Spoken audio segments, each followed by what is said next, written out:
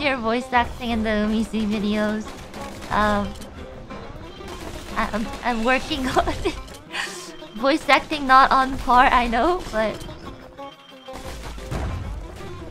I mean, I had fun. Oh yeah, episode 2 is out, by the way. Would you be interested in watching. Sure, I may be the one who dreamt up the walls and the bastion, but the kid made him real.